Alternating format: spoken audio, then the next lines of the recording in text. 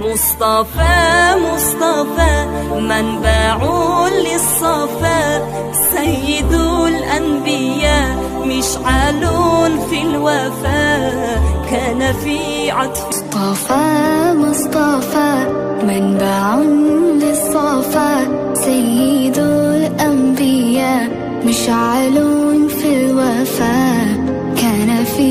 عطف مصطفى مصطفى منبع للصفا سيد الأنبياء مشعل في الوفاء كان في عطفه لليا